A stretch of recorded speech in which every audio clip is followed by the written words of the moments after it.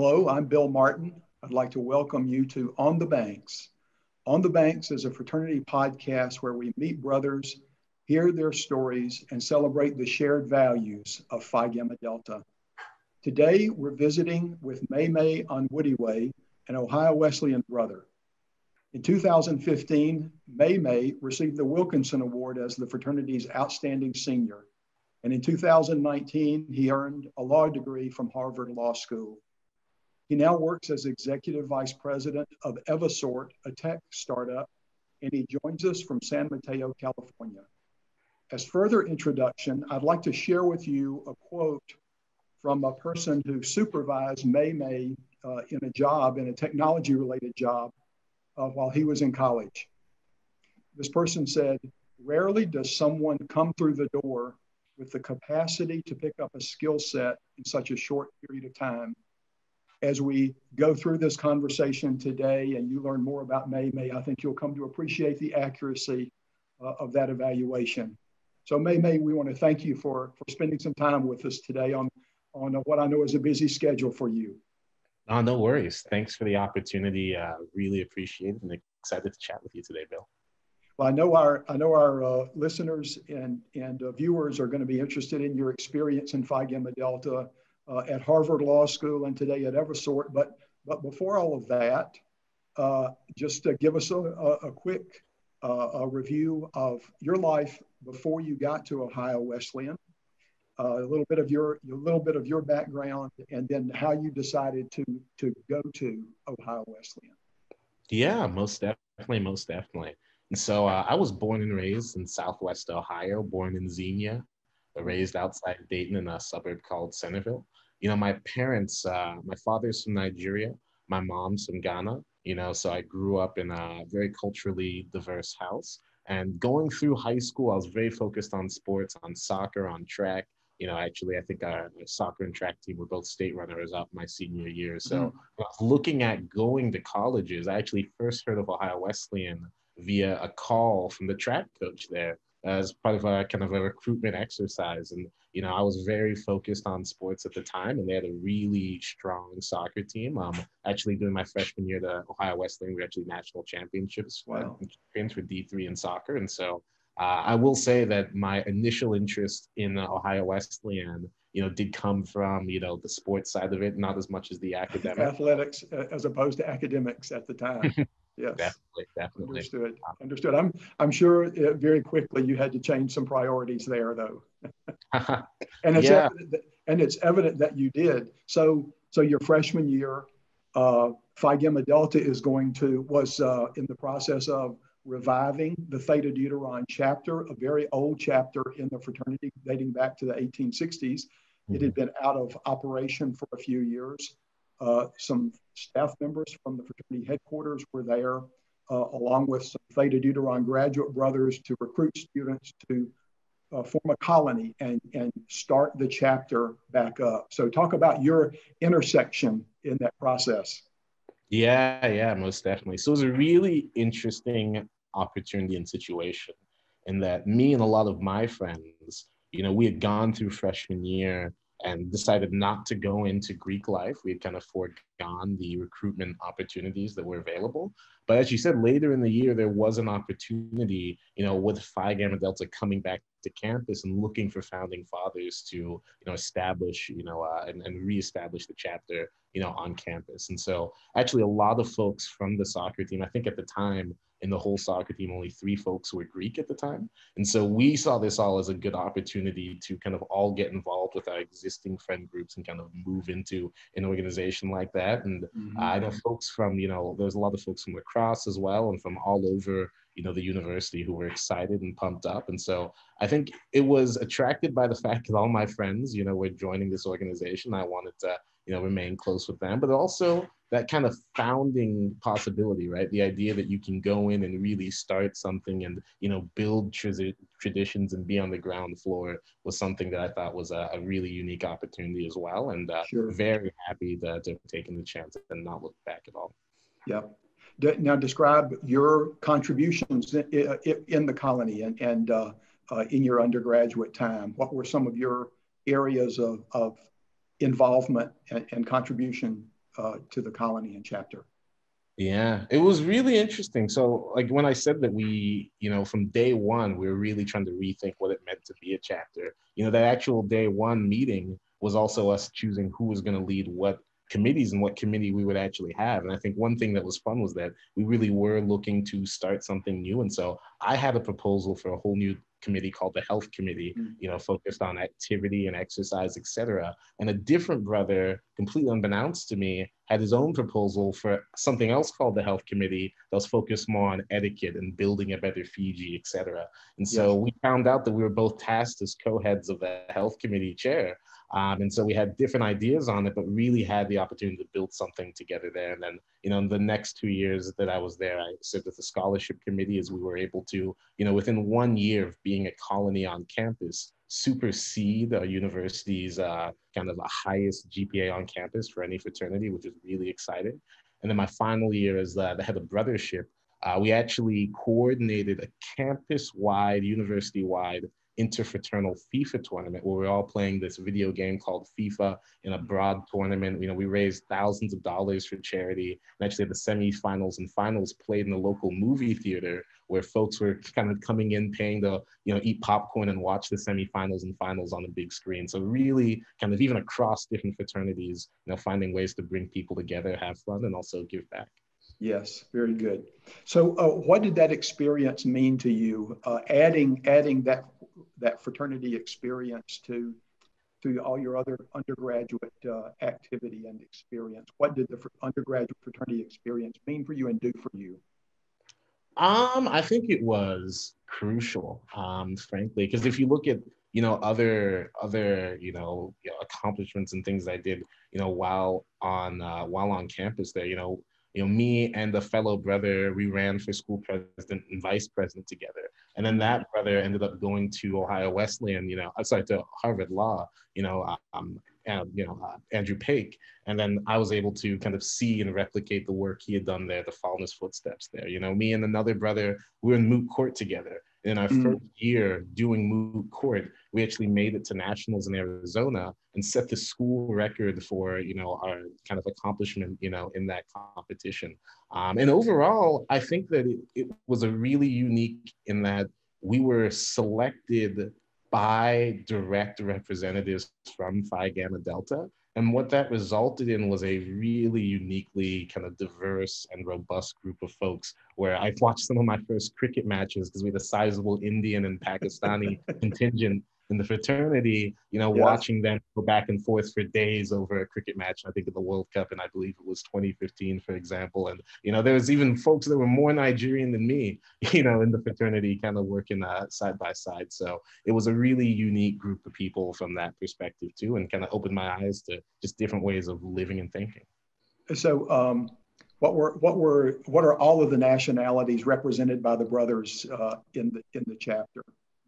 it can recall it's funny. It's funny because um, I mean we had several. You know, we had Nigerian, Ghanaian, Pakistani, Indian, Korean, Japanese. Um, it's also funny in that we started our own family tree based yes. off the founding fathers. And so, you know, mine was the Onwudiwe clan, there was the Kaplan Corporation, there was the Rajpuriya realm, kind of of each person. Um, and in the beginning, we did notice that kind of uh, as we had a whole Khan empire where the first three generations all had the last name Khan because it was all folks coming in from Pakistan. So uh, it was. Uh, it was it was very it was very interesting from uh, from that perspective. And now uh, was was Daoud Baz Daoud Baz was he a, a, a colony member? Yes, Daoud Baz. He's, uh, Af- he's, Afghan, correct? He is. He is Afghan. Afghan. So yeah, that was no. that was quite a diverse group. And oh yeah, I mean, a, we had Mainza Munu from Zambia, who's actually just recently started a new startup out of Kenya that uses uh, kind of AI to help folks kind of choose art and things. So it was, I mean, I, I don't really do it justice and kind of yes. you know naming out the nationalities, but it was a really unique group of folks. Yes, and you hear this a lot, strength and diversity, but that was a truly diverse group and, and indeed was stronger because of that uh, because of that diversity and a much broader, richer experience for everyone to, to work so closely together day to day, I'm sure. Oh yeah, 100%. I think, and to this day, you know i've got folks who are getting married in different countries i've got you know, as as you kind of you know move on that network of folks it's not just people that you meet when you go back to delaware ohio right it's folks yes. that, that you cross paths with all the time as uh, kind of diverse you know experiences build upon so, so as you uh, as you uh, approached uh, graduation or finished up your career at Ohio Wesleyan, you won a couple of very uh, impressive awards. You received on the campus the Meek Leadership Award, which is not a personality description of the recipient, right? Mm-hmm. it's not for bashful leaders. It was named for Phil Meek, uh, uh, a prominent Ohio Wesleyan alumnus who also happens to be a Fiji. So I'm sure that was that was super gratifying for you. And then, as I mentioned earlier, you won the, the Wilkinson Award as the outstanding senior in Phi Gamma Delta, and also named for an Ohio Wesleyan brother, uh, Scoop Wilkinson, who served for many years as the executive director uh, of the fraternity. So it, it appears that you were meant to be a Fiji. That that was just foreordained. Yeah, and I and I also do have to note while we talk about this is that you know the history of Phi Gamma Delta at Ohio Wesleyan was something else I think was a differentiator as we're going through, you know, recruitment processes and learning, you know, the legacy that we're walking into. You know, greats like Jack McKinney and Doug Dittrich and Dan Bennington. And, and even today, you know, I think Jack Foley, who, you know, started school after I graduated, you know, is now, I think, an Archon uh, coordinator. You know, with mm-hmm. uh, you know, yeah, over there. And they've said, and I think it's it's really borne out that the Purple Purple River does run through Delaware, Ohio. Indeed. Um, so uh, I'm glad, we'll, glad to continue the flow. We could have a whole separate on the bank session talking about the history of the Theta Deuteron chapter. so, so you graduated. Uh, you took a gap year uh, mm-hmm. out of out of Ohio Wesleyan. What did you do during that gap year? Yeah, so during the gap year, I actually worked in um, uh, in Nigeria at the Nigerian Extractive Industries Transparency Initiative. I was doing work there. I was at the time deciding between do I want to go into the law or more international development, and so I was applying to programs like the Rhodes Scholarship, you know, to look at international development and you know law schools in the United States to, to look at law. So and was also tutoring French uh, in the meantime. It was kind of a pretty typical gap year. Yes, yes. And so uh, you, uh, Andrew Paik, as you said, one of your Theta Deuteron brothers, a few years ahead of you, was was two years ahead of you at at uh, Harvard Law School. So you, know, you began to look there. As you as you looked at Harvard Law School, were you thinking that a law degree would lead to practicing law, or or did you have even at that time have much broader sorts of thoughts about where your where your career would lead? Mm-hmm. Well, I definitely, you know, practicing law was something that I definitely had considered and thought about. But I think the choice of Harvard Law was really around the fact that I did want to explore broader options of leveraging, you know, my legal career outside of just uh, practicing law directly. And also at the time, I did apply for a, a dual degrees at several business schools at the same time too. But I really can't underline how important it was to have mentorship you know, mm-hmm. from an Andrew Paik, you know, throughout this process. I remember, you know, because he was only a year older than me. And, you know, we both academically excelled. We knew we had similar GPAs. And when he told everyone he was going to Harvard Law School, I'm like, well, how are you doing that? Because I've got the same GPA as you. And so, you know, I didn't, I uh, did take a gap year while he was able to go straight through. But, you know, my first year was his last year. We lived yes. on the same floor in the dorms. Um, and it was just an amazing experience. And I think when we talk about any of the things I was able to accomplish at Ohio Wesleyan, I think it was really enabled by, you know, Paik helping me hit the ground running and get that initial understanding it might have taken others longer to take. So, so you're, are you saying that until you heard that from Andrew that he was going to Harvard Law School, that hadn't even been on your radar, that you thought that was something that would be possible for you? Yeah, honestly, um, going into undergrad, the decision was mainly between NYU and uh, Ohio Wesleyan.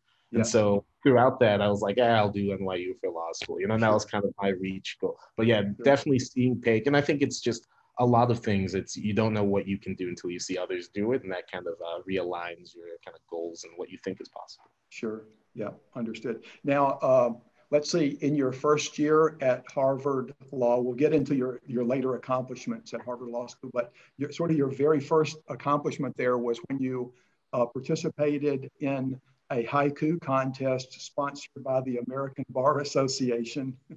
so, mm-hmm. do you remember your haiku? The haiku yeah. that, that, and you were runner up. So you were runner up in that uh, competition. What was your haiku? Most definitely. So the the haiku contest was about basically taking a landmark Supreme Court case and turning it into a haiku. So the Supreme Court case I chose was King v. Burwell, which is a court case where, you know, when people talk about, you know, that the court saved Obamacare, that's the case. And yes. basically the crux of that case was there's language in the statute that says, hey, um, for these marketplaces, these shall be the rules for all state marketplaces. And then the issue was that you know there are particular things to make the uh, to make Obamacare work that required taking those actions at the national uh, you know uh, marketplace level. And the idea was you know are these kind of state marketplaces can they also be uh, a national marketplace? And so uh, the haiku is i can read it to you it's pretty short. Um, and you can keep track of the syllables at home. Uh, obamacare saved. Such jiggery pokery are only states, states. And the reason for that jigger-pokery line is that in the case, Scalia, who's known for his, uh, you know, a colorful language, said that to call a national marketplace a state marketplace is jiggery so you found a way to incorporate that into your haiku. Very good. Very good. Uh, and you had you had a busy time at uh, uh, at Harvard Law School, you know, I've, I've heard people say uh, about law school that uh, uh the sort of the uh, uh, axiom is in your first year, they they scare you to death. Your second year, they they work you to death. In the third year, they bore you to death. Was that did that was that how the experience played out broadly academically at Harvard? Um, you know, potentially, but I do think that, and I think it was potentially even kind of Andrew's support that kind of helped me break a little bit out of that. But I feel, I think a lot of the time spent at Harvard Law was focused on, you know, using the opportunity that you have as you're a student there to really kind of push forward and do things that you wouldn't otherwise have the opportunity to do. So I definitely took classes seriously, went to classes and did my homework like that, you know, but I did a lot of extracurriculars, as you know, you know, took opportunities to meet with leaders who were visiting, to start companies, to start programs, to start journals, and to, to, to really look at making that kind of impact, knowing it's only a short three years. Yes. So, so you were so involved that uh, that in your final year you received the Dean's Award for Community Leadership Dean's Award for Community Leadership. So tell us specifically some of the things that you did that, that uh, sort of went into uh, uh, earning that award for you, yeah. because obviously it, it uh, uh, identifies someone who has been involved in doing a lot of things besides just carrying the challenging academic load of Harvard Law School. Mm-hmm. No, that makes a lot of sense. Um, I think one thing I did was really increased my engagement around the continent of Africa. And so, you know, while on campus, I was the president of the Harvard African Law Association, you know, and really helped to put on programs and help with, uh, you know, symposiums and academic opportunities for folks to think about, you know, legal issues from an African perspective. Um, I also did a lot of interdisciplinary work. So I wasn't a student at the Harvard Kennedy School, but I was actually uh, put as the editor in chief of the Harvard Kennedy School's Africa Policy Journal. Mm. And through that, you know, I was actually able to do interviews with the former president of Ghana, the current president of Ghana, um, the former president of uh, Nigeria, and just lots of folks and stakeholders from the continent who visited. And I think another aspect was just on the technology side. You know, as you know, while at Harvard, uh, me and you know some students from Harvard Law and some PhDs from MIT started a legal tech company that uses AI to pull out data from contracts. And so once again, even though I was a student at the law school, I spent the bulk of my time at the business school working out of the Harvard Innovation Lab, training algorithms, you know, mm-hmm. developing a business from that perspective. And you know, we even actually set up the first ever and folks actually were surprised that it didn't it wasn't it hadn't existed before but you know i was the founder and co-chair of the first ever harvard legal technology symposium mm. right symposium yes. at harvard law where we brought kind of top shelf people from across the united states and abroad to talk about you know, what changes are happening when it comes to technology, you know, for the legal practice. Yes, yes, which was right up your alley uh, with with your Evisort connection that was developing at the time. Sure. Mm-hmm. So, so regarding Eversort, as you said, you you pitched in with with people who were who were and joined that group that was starting Evisort, and and uh, now since you've graduated, you're executive vice president there. Uh, tell us what what Evisort does and uh, and the, what the value is and why you're excited about it. Yeah, most definitely. So at a high level, Evisort structures unstructured data, and we focus on contracts, right? I mean, the inception really came from we were students at Harvard Law, very excited to be lawyers. You know, we've been working at it. When we begin to get a taste of the law firm, we see that the projects that we're engaged on are processes that didn't really reflect what we were doing in law school. Right? You spend all this time in law school reading these cases, doing deep analytical thinking about, you know, how to weigh these different, you know, issues. But when you get to a law firm, they're like, hey, in these 10,000 agreements, can you find this clause in all of them and put them into an Excel sheet so we can review, right? And I think we also saw a mismatch from that. We could tell that the technology just the the issues that we were being asked to solve were things that technology could already solve automatically right? You know it doesn't take we weren't data scientists right? But we could tell that if we were to provide enough examples of language to an ai analytics tool it would be able to perform the tasks of parsing that we were asked to do. And so we basically made a contract management system and in the contract management system, it used to be that if you wanted to remember, hey, when's this contract going to expire? You'd have to type the date and then it would remind you. Now, once a document enters our system, we read the contract, we pull out over 50 data points, you know, clauses, key dates, key information, who are the parties. And so if you need to ask any questions or do any kind of reporting or auditing into your contracts, you don't need to do a broad scale manual project to have someone read every one. All that data is already there. And as your needs change and you need to find new language in your contracts, we have a really simple UI where you can train your own algorithm without data scientists to find that new information on the fly. Wow. So, so you said, well, you, you found out there's a lot of drudgery.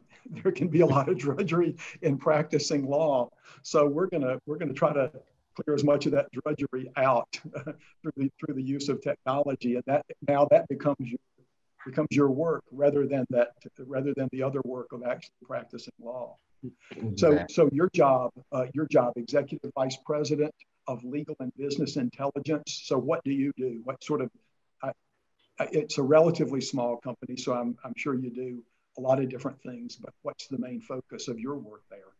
Yeah, most definitely. Well, it's evolved a lot. If you can imagine, when I joined, it was kind of five folks sitting around the table at the Harvard Innovation Lab, whiteboarding. You know, now we've got folks from across multiple countries, about 80 people working for us in the United States alone.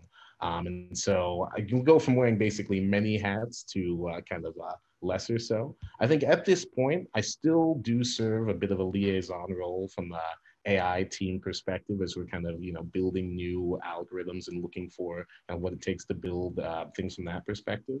I do a lot of client work day to day, you know, working with uh, existing large clients, seeing what kind of projects they want to move on and how that lines up with what we're doing. And I also actually have actually been uh, giving back a little bit to lead a team that we call the 2L Fellows, which is that you know when we were law students we knew that we were interested in doing more than just practicing law. We didn't see many outlets for engaging in that in the professional, you know, perspective while we were students. And so as, you know, now, you know, owners of a company, we actually have a program where we hire annually several different law students who work with us on projects throughout our organization, right? Because we built a company, I mean, our COO, CEO, right? All the finance, all the marketing, it was all done by lawyers. Mm-hmm. And so mm-hmm. we understand that, you know, a law student can be more than just someone to review your NDAs, right? It's actually someone who can add real value across your business. Because if they couldn't, then we wouldn't be a company right? right. And so uh, we, you know, it's it's much more than Harvard. We have folks from you know Arizona State, USC, Miami University, you know, who are students working with us, and they're uh, and I'm you know leading that program and uh, hoping to expand it as well. So uh, lots of different work. Every day is very exciting. Uh, understood, understood. So um, obviously, the, your your history is uh, as we've as we've uh, talked about your undergraduate time, your time at Harvard Law School. You've always had a number of balls in the air. You've always had more on your mind than just whatever the, the, the central activity was, whether it was academic or, or work. So, so now uh, with at, at Evisort, you've, you're out, you've got your degrees.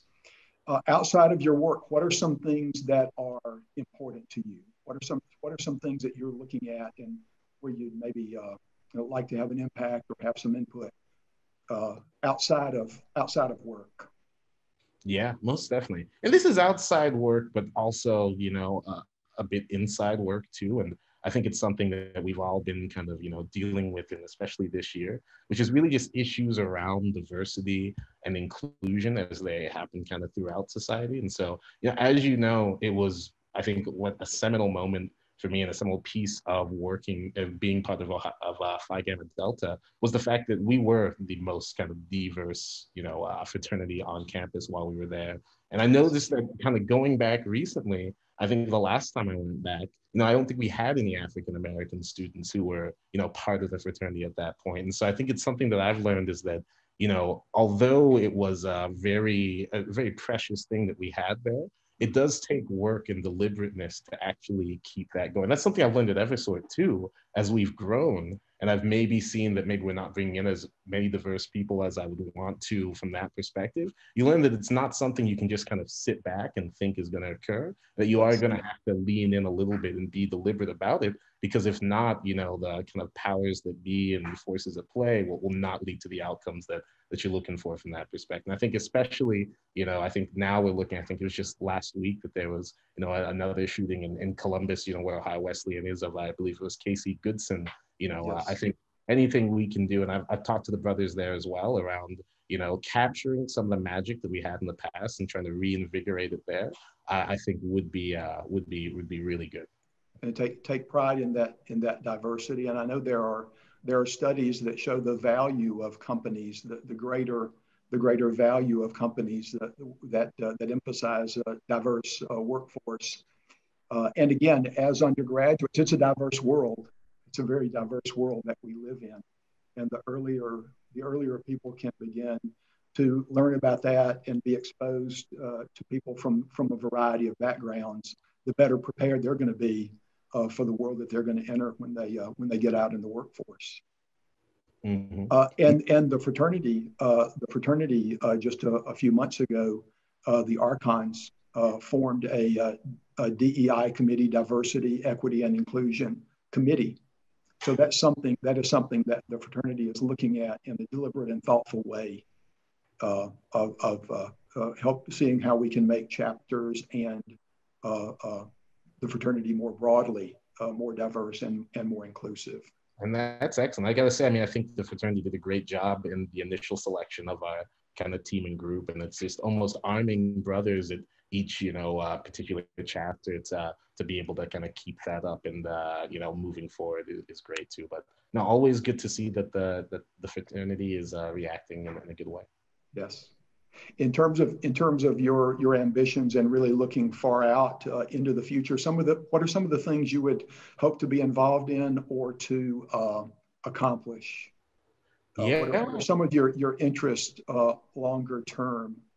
Uh, because you seem like someone who has the capacity to have impact in a lot of areas and most any have an impact on most anything you put your mind to quite honestly. So what are what are some things you, you think you might put your hands and mind to in the future yeah. I mean, I, I do like to be in areas of growth.